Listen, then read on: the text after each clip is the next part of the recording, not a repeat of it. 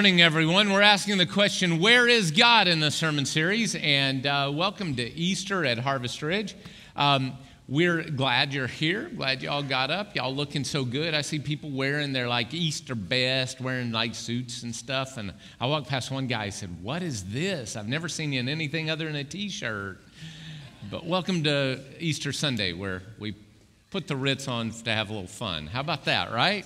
Speaking of which, Easter, what is Easter? There were three guys that died. They were uh, casual Christians and, and uh, they, they were real casual church attenders. So one day they're, uh, they're driving uh, and they have a car accident. All three of them died and they showed up at the pearly gates. And when they got there, St. Peter says, uh, he says, all right, you can enter the pearly gates if you can answer one simple question. And the question is, what is Easter? And the one gentleman says, Oh, that's easy. It's the holiday in November when everyone gets together, eats turkey, and we're thankful. Reject, go. All right, Peter says, Wrong. And then he looks at the second guy and says, Hopefully you can do better. The guy says, Oh, yeah, I know what Easter is. It's that holiday in December when we put up a nice tree, we exchange presents, and we uh, celebrate the birth of Jesus. And St. Peter shakes his head and says, No, leave, go. So finally, the third guy, he says, I know exactly what Easter is. He says, uh, St. Peter looks at him and says, Oh, yeah? Yeah, prove it. So the guy says, Easter is that Christian holiday that coincides, coincides with the Jewish celebration of Passover. Jesus and his disciples were eating at the Last Supper, and Jesus was later deceived and turned over to the Romans by one of his disciples. The Romans took him and crucified him. He was stabbed in the side, was made to wear a crown of thorns, and he was hung on a cross with nails to his hands and feet. He was buried in a nearby cave, which was sealed off by a large boulder. And St. Peter's like, Yes. And then the guy continues. And every year the boulders moved aside so that when Jesus comes out, if he sees a shadow, we know whether we'll have six more weeks of winter.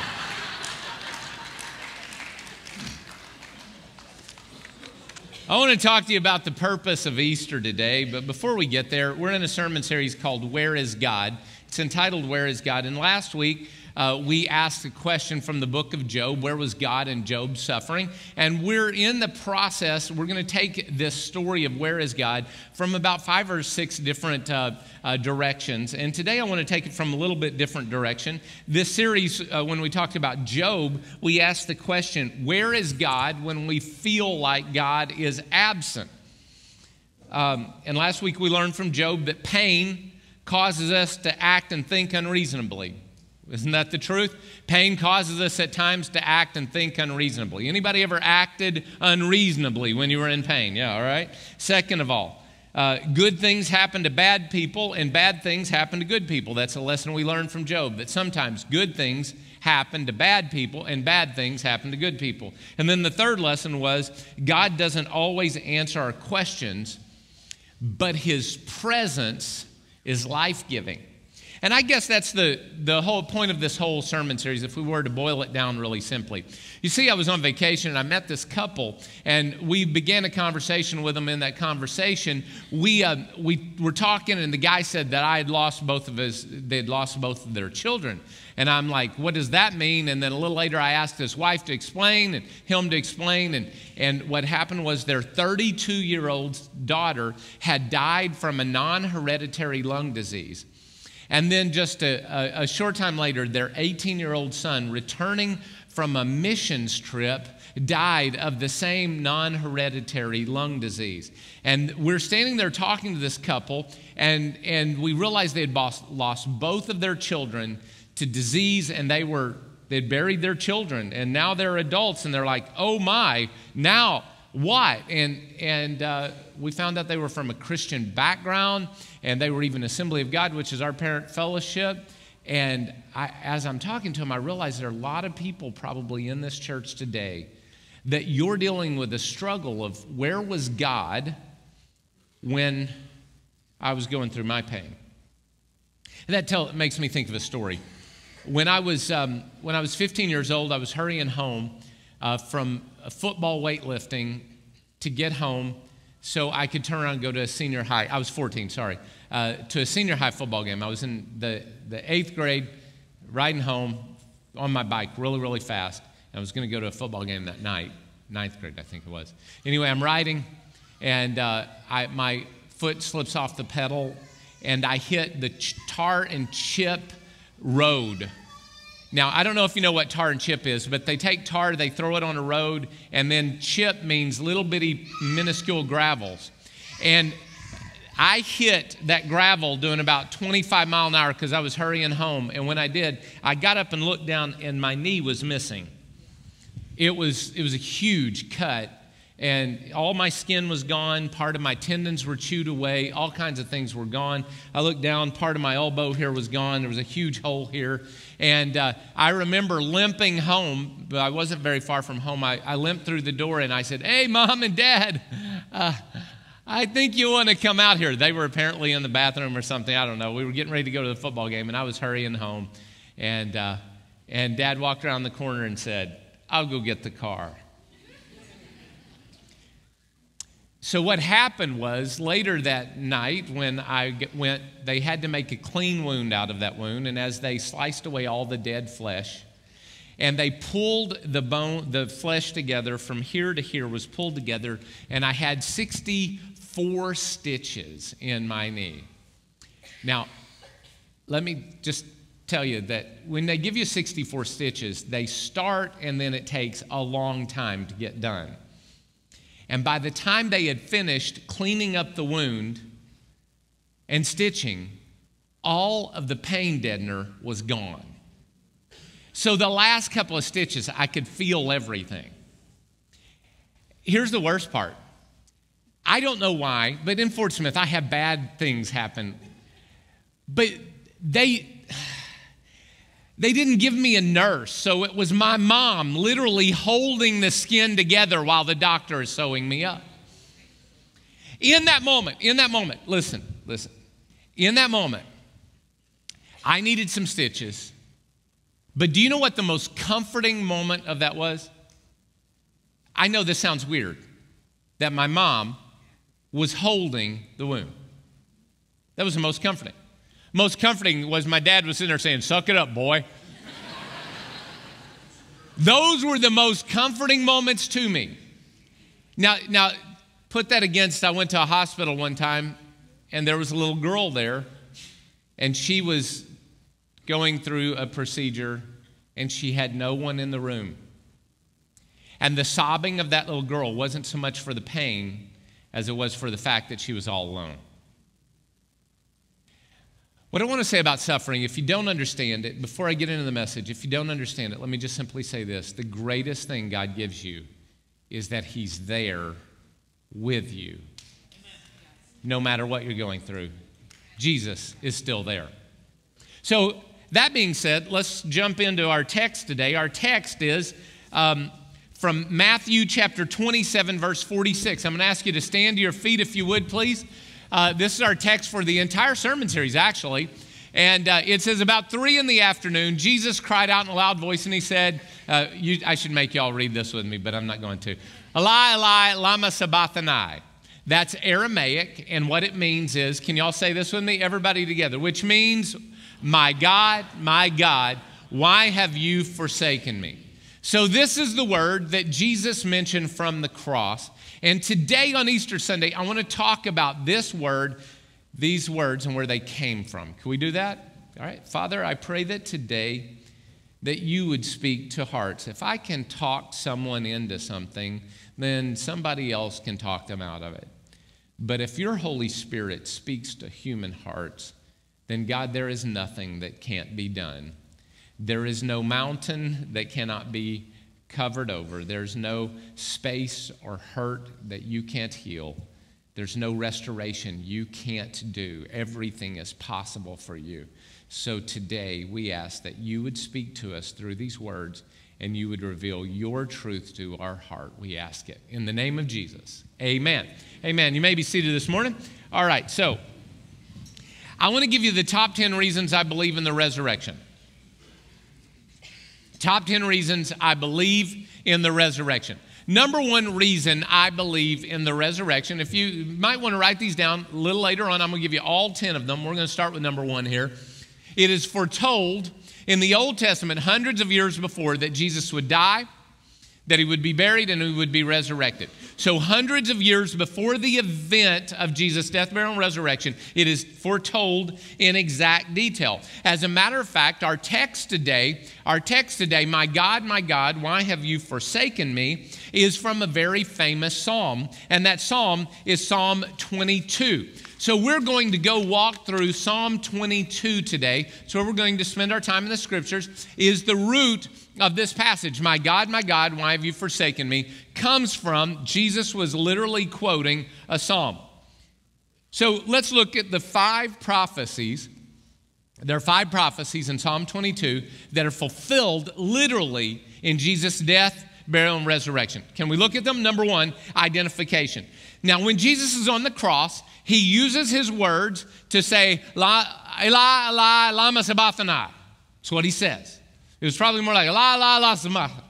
Why would he do that? Why would he take his energy and his breath to do that? The reason is two reasons. Number one, identification. He wants us to know that he is identifying with all of us in our pain in that moment when we feel like God may have forgotten or forsaken us. So, identification is number one. He is calling attention to this psalm. He is calling attention all the way back to Psalm 22 and identifying, My God, my God, why have you forsaken me? Why are you so far from saving me? So far from my cries of anguish. And, and there are people that have taken these words of Jesus on the cross and they've made them into a theology that is not appropriate. Why? All right, so if I wanted you to know something was important, and maybe I wanted to toss out a line to you that you would all understand, right? Uh, let me see. I pledge allegiance. All right, so stop right there. What happened?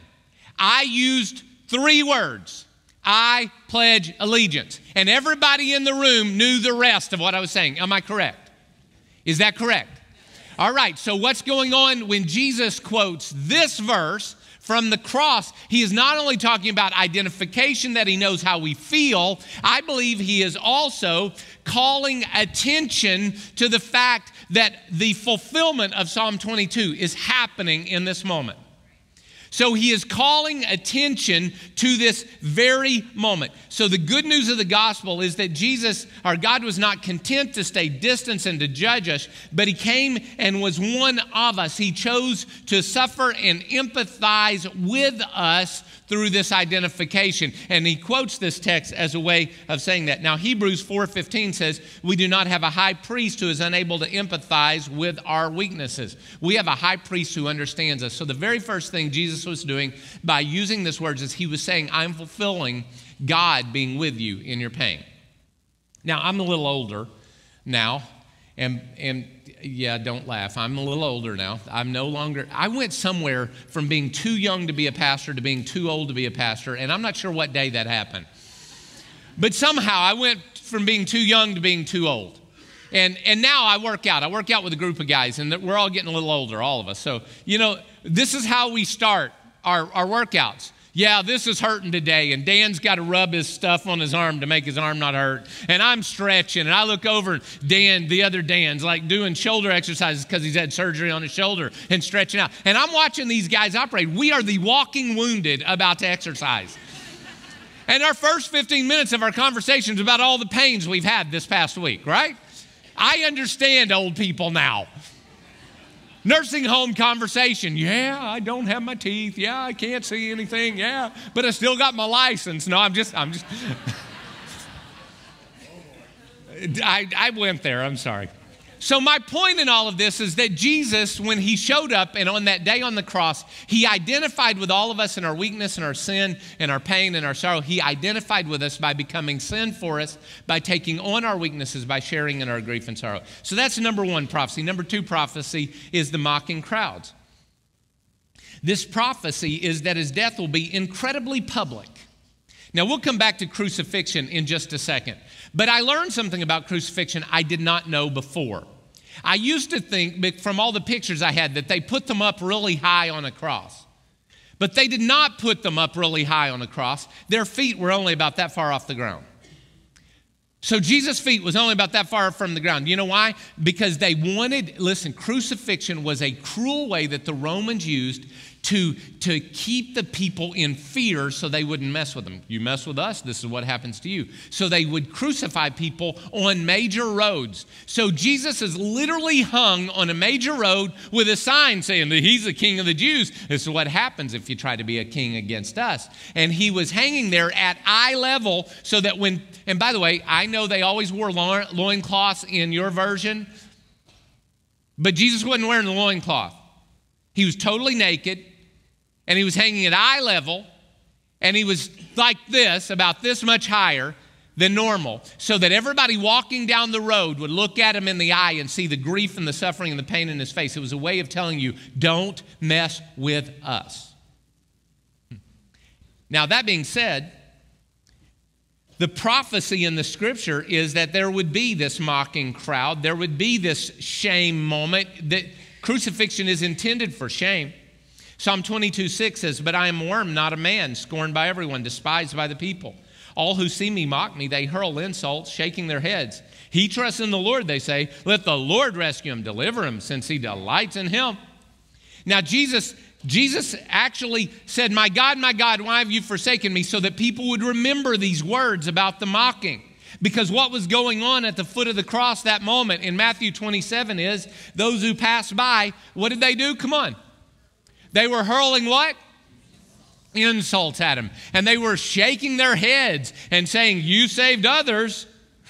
You're going to destroy the temple and build it in three days. Save yourself. You got all this power. You saved others. You can't save yourself. If you're the Son of God, then come down from the cross. Do you hear the mocking tone? Now, this is a direct fulfillment of what was prophesied all the way back in Psalm 22. Jesus carried a three, think about what Jesus did that day. He carried a 350 pound cross. Now, I have one time in my life squatted 365 pounds, and I'm going to tell you that 365 pounds is not sissy weight. Anybody ever squatted that much? That's a lot of weight. That's a lot of weight. And you put it on your back, you're like, oh, I don't think I can get up. My knees are doing this. Jesus carried a 350 pound cross, 650 yards down the Via Dolorosa. And all the while, do you know what they did? The whole step, they spit on him. People would throw dung on him off the streets. They yelled at him and cursed him and said, Yeah, you, Mr. Spiritual, you made lepers walk. Why don't you take care of this? And Jesus is prophesying from the cross. He is calling to mind the prophecy that said people would mock him. The third prophecy fulfilled is that of crucifixion. All right, Psalm 22 was written all the way back about 1000 AD by a man named David. It is universally agreed upon. I, I, read some commentaries and stuff, and just about everybody agrees David wrote this song. 1000 AD. Do you know that crucifixion as a form of capital punishment was not made up until the Persians did it sometime around 300 AD? So, 700 years before crucifixion was invented, it is prophesied in detail. I'm going to prove that to you. Let's look through the text. Psalm 22, verse 14. I'm poured out like water. All my bones are out of joint. It's hard to read that. All my bones are out of joint, but that's what it says. We'll come back to that.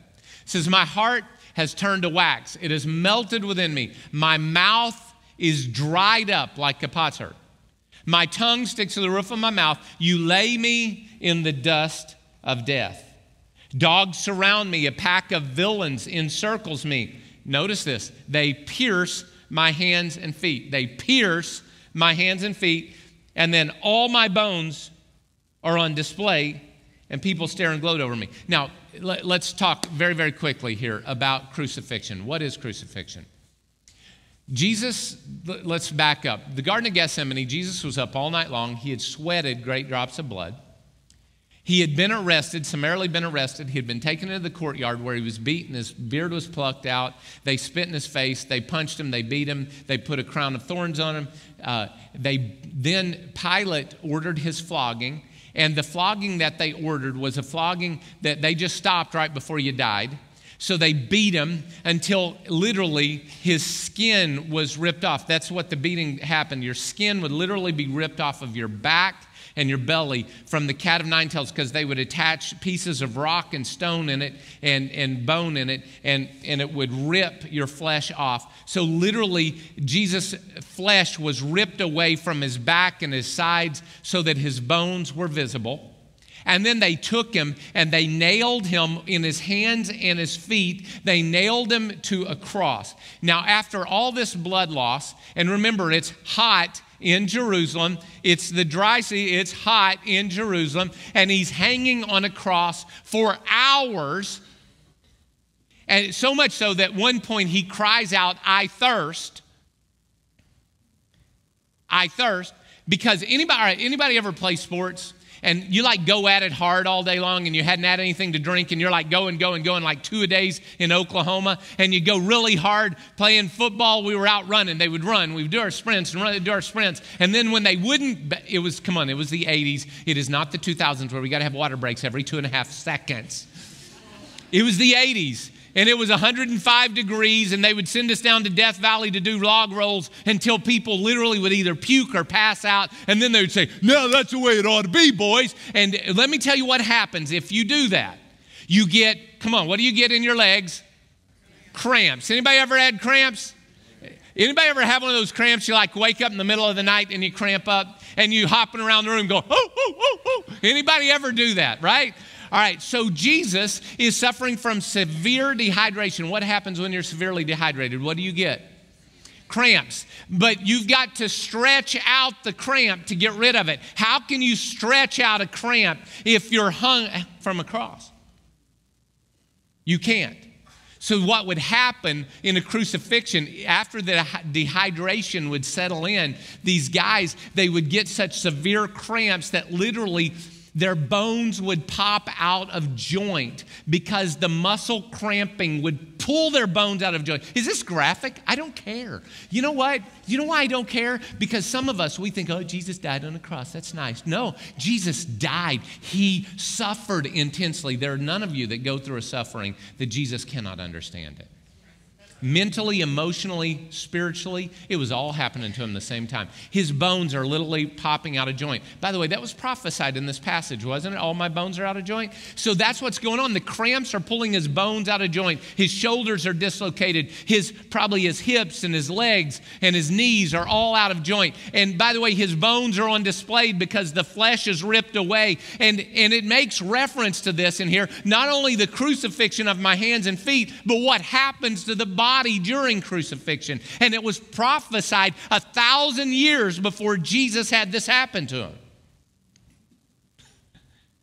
Are, are y'all awake? Why did he say, My God, my God, why have you forsaken me? Because he was, he was living out Psalm 22. He was literally living it out at this moment. Number four, fourth prophecy. They were gambling for his clothes. This is very specific. Psalm 22, 18. They divide my clothes among them and cast lot for my garment. In John chapter 19, we read this When the soldiers crucified Jesus, they took his clothes, dividing them into four shares, one of them, uh, one for each of them, with the undergarment remaining. Now the garment was seamless and woven in one piece from top to bottom. Let's not tear it, they said to one another. Let's Decide by lot who will get it. So they literally gambled for who got Jesus' clothing. This is a fulfillment of the prophecy from Psalm 22 happening in detail. When Jesus said, My God, my God, why have you forsaken me? All the Jewish people standing around went back to, you know, four score and seven years ago. They knew what was being said. Gentlemen, start your engines. They knew what was being said. I pledge allegiance. They knew what was being said. And they were watching the fulfillment of Psalm 22 right in front of their eyes. Hmm. The last thing Psalm 22 it prophesies the ultimate victory of Jesus. Psalm 22, 24. He's speaking of God has not despised or scorned the suffering of the afflicted one.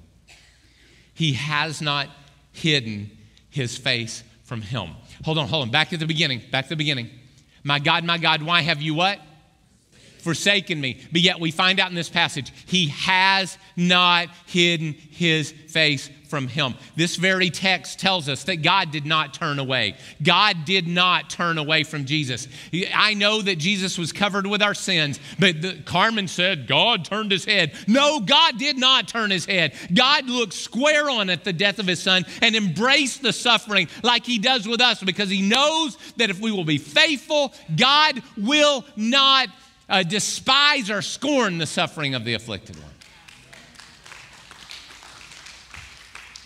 So, he has not hidden his face from him, but has listened to his cry for mercy. Listen, God hears you when you talk to him. Psalm 22, 30, uh, 29 says, All the rich of the earth will feast and worship. All who go down to the dust will kneel before him. That's sort of interesting. Everybody who dies is going to kneel before this person. What kind of prophecy is that now, huh? All who go down to the dust will kneel before him. Do you know that every person who dies will stand before God? There is a judgment coming, and we all will stand before the great white throne of God's judgment. We will stand there in honor of him, and every knee will bow, every tongue will confess that Jesus Christ is Lord to the glory of God the Father. It will happen.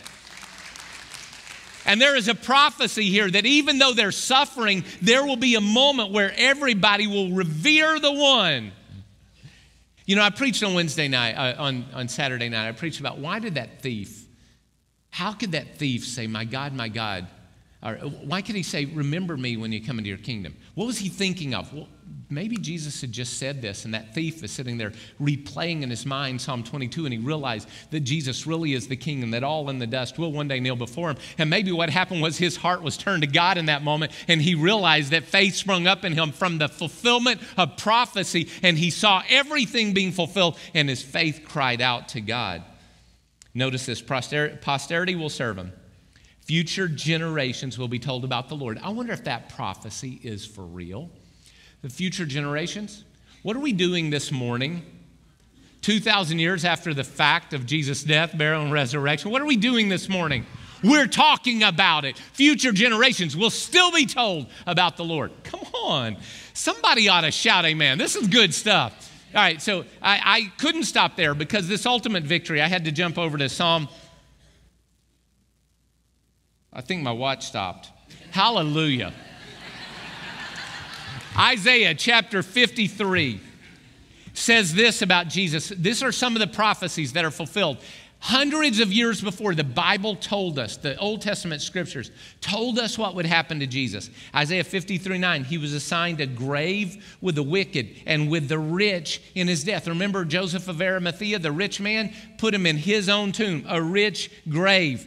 And though he had done no violence, nor was there any deceit in his mouth. Isaiah chapter 53, verse 11. After he has suffered, he will see the light of life. The prophecy was from the Old Testament. After Jesus dies, he will be resurrected from the dead and he will see the light of life. This is prophesied in detail hundreds of years before it happened. The Bible told us what would happen. The two guys on the Emmaus Road. I've been working through that this past week in Greek and I've been reading it and reading it, reading it. And every time I read it, I come across something new. And I realize these guys that were on the Emmaus Road, Jesus opened the scriptures to them and said, Hey guys, what had to happen to the Messiah is happening. Here's where it says it in the Bible. And I bet you he was reading Psalm 22 and Isaiah 53. And what happened was those guys, their, listen, their hearts burned within them because God was talking to them. Listen, I can't make your heart burn. Now, I can give you pizza and send you to sleep, but I can't make your heart burn.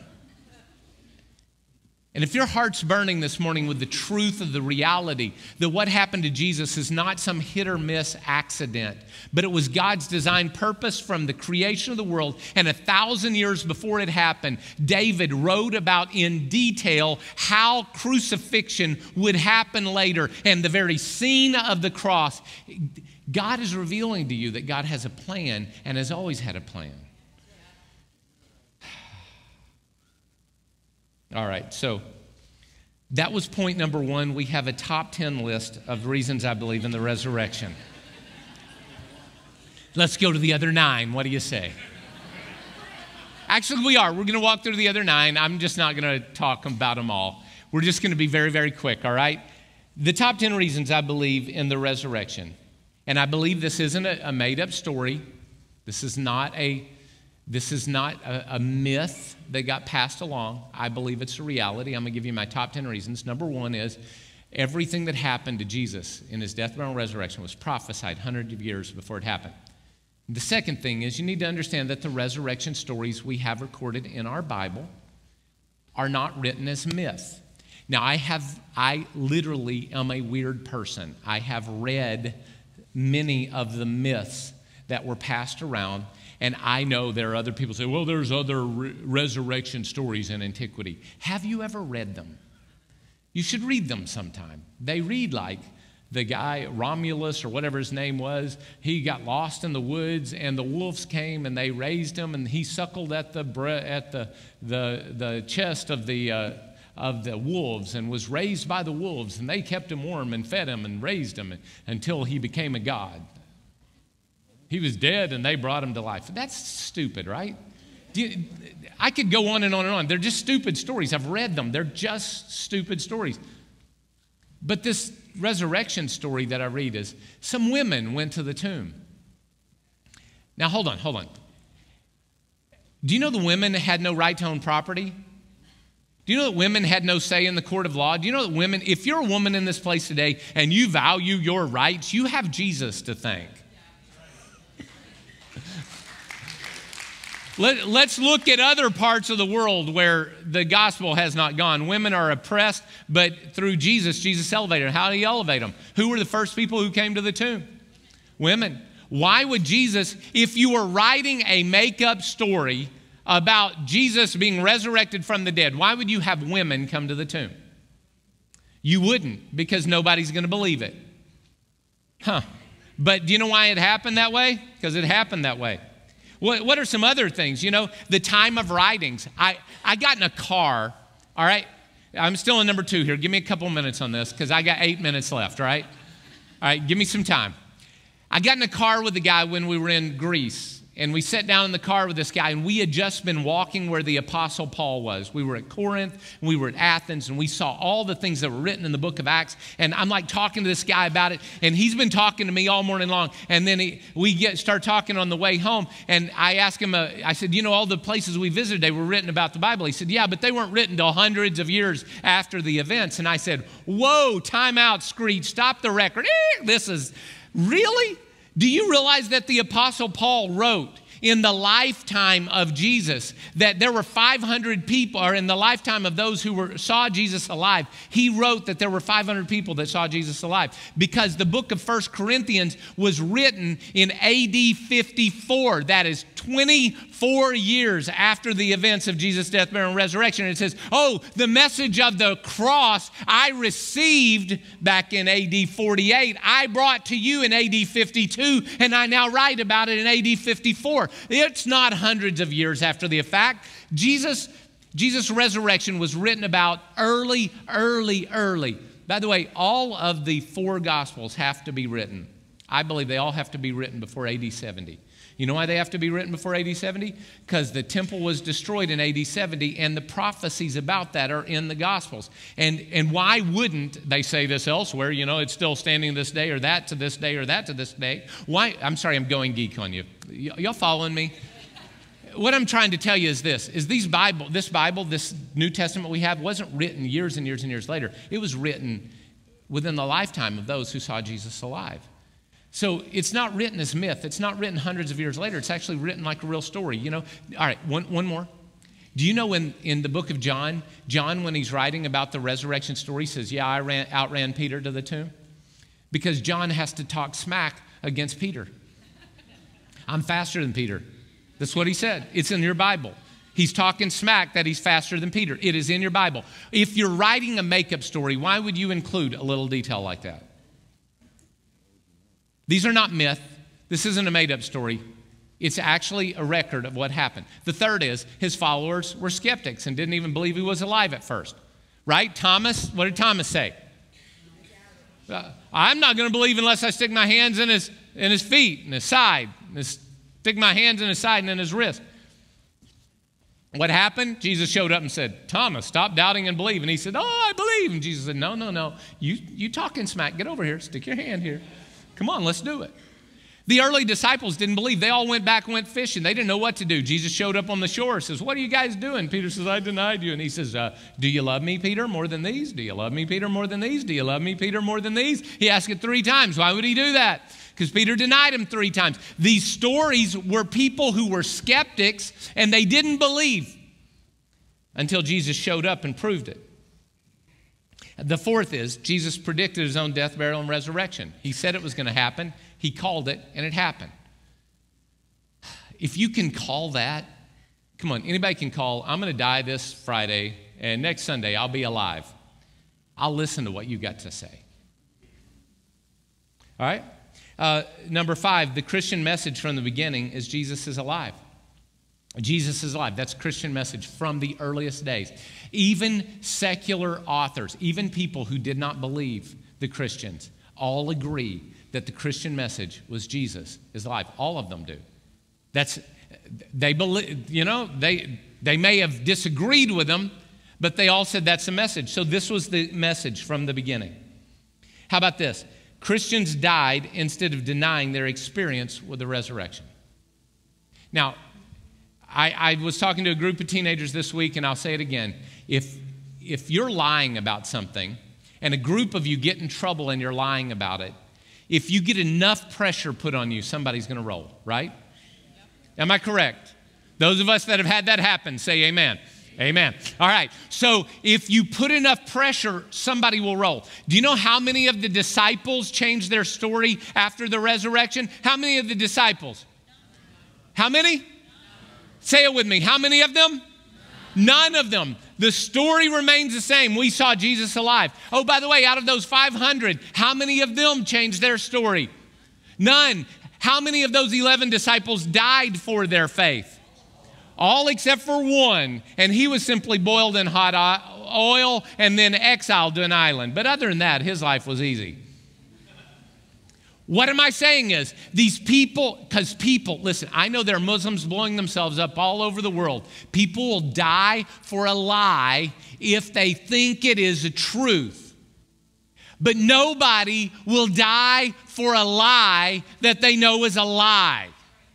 And all of these people that said they saw Jesus alive all went to their grave, most of them violently, because they believed what they saw was a reality. And by the way, why should they be afraid to die if they saw Jesus get up out of the grave and conquer death, hell, and the grave, walk through walls, and stick your finger in his hands? Why should they be afraid?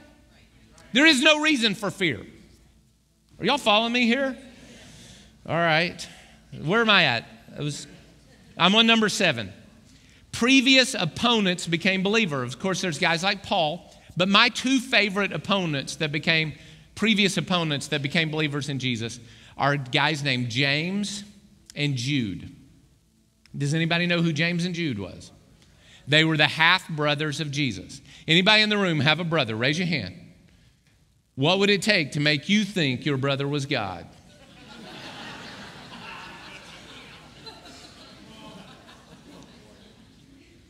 Their brothers, who said he was crazy a couple of months earlier, are now calling him God and writing letters defending his resurrection because it says in James or in 1 Corinthians 15 that Jesus went and appeared directly to James.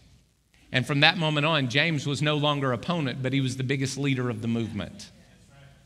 Something happened to him to change him. All right. How, how about this one? Uh, number eight, there must be an explanation for the Christian movement survival and explosion. Do you know that Christianity, you would think you kill the leader of Christianity, it's going to die, right?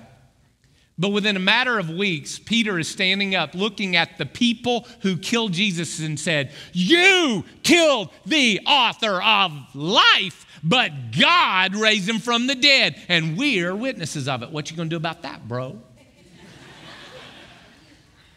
Do you hear the attitude? The attitude is we know we have a conqueror, and, And that's the only explanation. Without that, how many little, little cult group leaders have started and the leader gets killed and they just disband? Come on.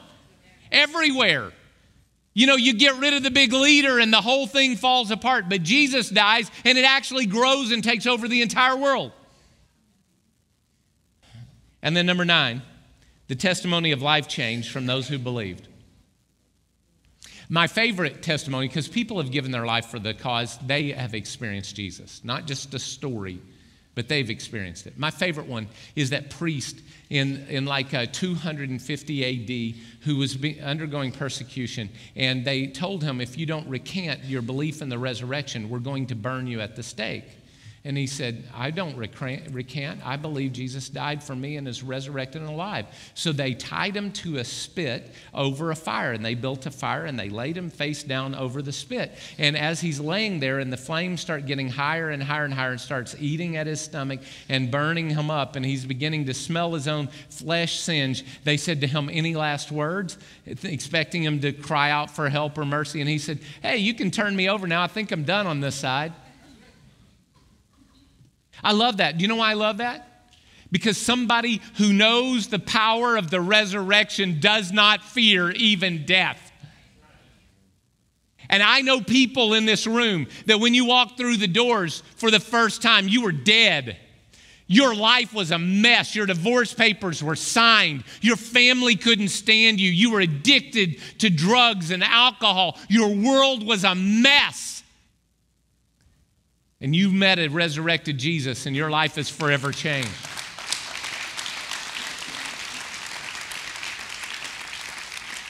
So you're part of the reason I believe in a resurrected Jesus. And last of all, and I'm going to be very transparent about this, I want Jesus to be alive.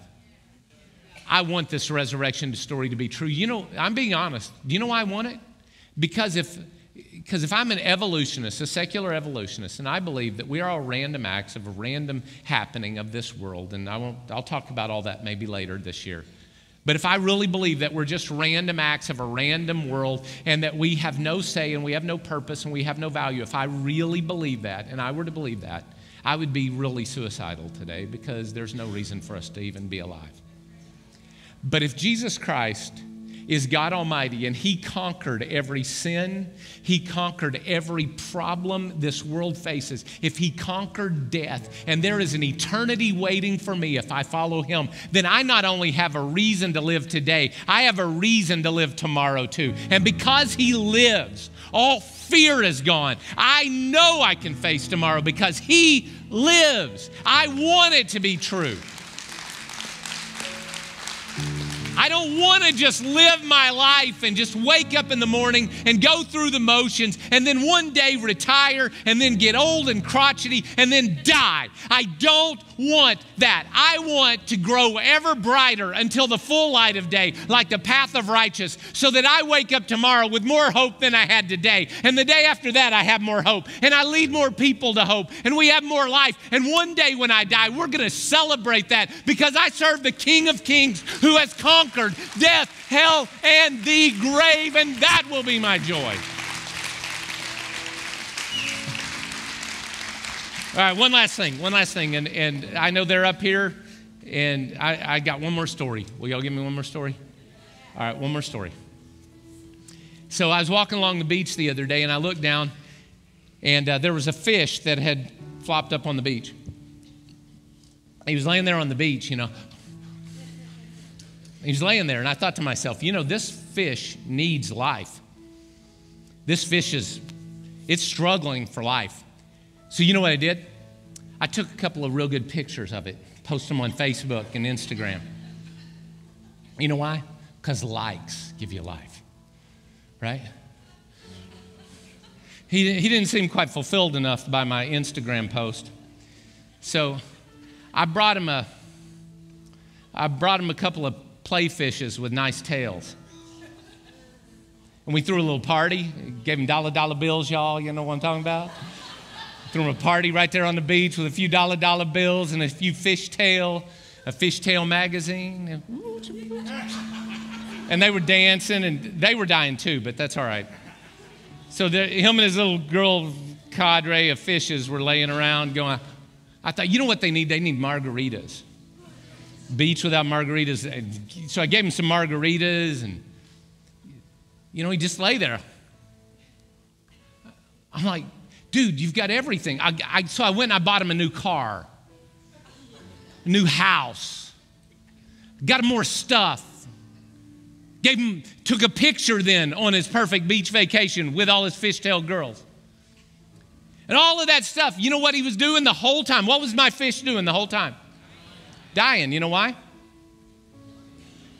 He wasn't in the water. He didn't need all the stuff. You know what he needed? Water. So this morning, there are many of you in this room, you've been living your entire life facing, chasing all the stuff I described. You think that likes on social media is going to make you feel important, or the car you drive, or the house you live in, or the girl that you have, or the food you eat, or the things you drink, or the parties you have, or the dollar dollar bills, or whatever it is. You think, no matter what, you think that's going to fulfill you, but you know what? None of it will. You're going to lay there and just die. You're just going to lay there and die. Do you know what you really need? You need to get into the water of the life of Jesus Christ. He offered you eternal life. So I'm going to ask you this morning would you just bow your heads with me, real quick? And I want to ask you a very simple question, all right? If you're in this room right now and Jesus is talking to you, it's not me. I'm not talking you into anything. The Holy Spirit is talking to you. He's grabbing your heart, He's pulling you, He's tugging you. He's saying, Hey, I love you. I have a plan for your life. It's better than the plan you're living. I have a way for your life. It's better than what you're chasing. I am real. I am alive. I prophesied it. I fulfilled it. And I also prophesied I have a plan for you. Let me fulfill that for you. If you're in this room and you are not in relationship with Jesus, I want to pick you up and put you in the water right now. You know how we're going to pick you up and put you in the water of God's love? I'm going to ask you if you say, I want to believe in Jesus Christ lift your hand real high. I want to pray with you right now. I want to give my heart to Jesus. I want to live for him. Right now, lift your hand up. Yes, yes, yes. All around this room, hands are going up. Anybody, leave them up. I want, I want to see them. I want to be able to pray with you. Yes, around this room, there are hands up. Can we all pray together? Everybody at the same time. Can we do this together? All right, everybody. Nobody prays alone. Dear Jesus, Dear Jesus, I believe in you. I believe in you. I trust you. I give you my life. I know you have not forsaken me. You have a plan. Let me step into that plan. Let me step into your forgiveness. Let me step into your purpose. I receive it. You now have my life. I give it to you. Now give me yours. Amen. Now, if you prayed that prayer, I told a boy this past week. He was a he was a tough street kid. I was playing basketball with him and shared Jesus with him, and the guy gave his heart to Christ, and he said to me, I asked Jesus to be the boss of me today. I loved it. It was so cool. It's like, yeah. Little ninth grade young man, tough kid. Played basketball with him. He's a tough kid. I asked Jesus to be the boss of me. And you know what I told him? I said, if you really prayed that prayer and you meant it, you're going to be really, really bad at sinning from now on. You're going to be really bad at doing things the old way from now on. You know why? Because God believes you and took you at your word. And if this morning you asked Jesus to be your Lord and to give you his life, he took you at your word. Do you understand that? He took you at your word. And he's given you all of his blessings. And he's not going to let you be the old you anymore. So come back next Sunday. Let's hang out. Let's learn God's word. Let's get in a life group. Get in a life group. We got life group starting back up. All right, we're gonna. I, I could. I'm getting fired up. Let's go. Would y'all stand up? Let's get out of here. All right. Would you hang around for three minutes and sing this song with them? You guys got a good one? Uh, would we do that? All right, let's do that. May the Lord Jesus bless you and keep you and cause his face to shine upon you and grant you peace. Amen. God bless you. Happy Easter all.